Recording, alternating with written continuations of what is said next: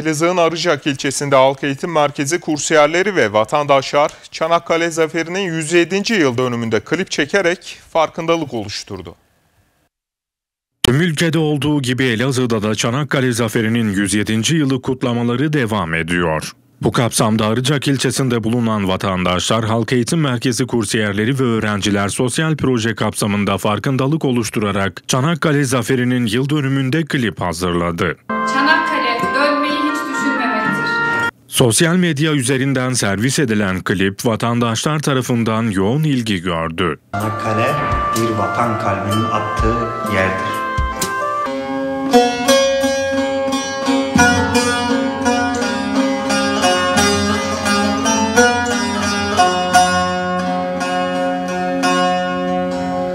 Çanakkale, vatan topraklarını korumak için şahlanan bir milletin, bağımsızlığının ve egemenlik aşkının ibret verici kahramanlık destanıdır.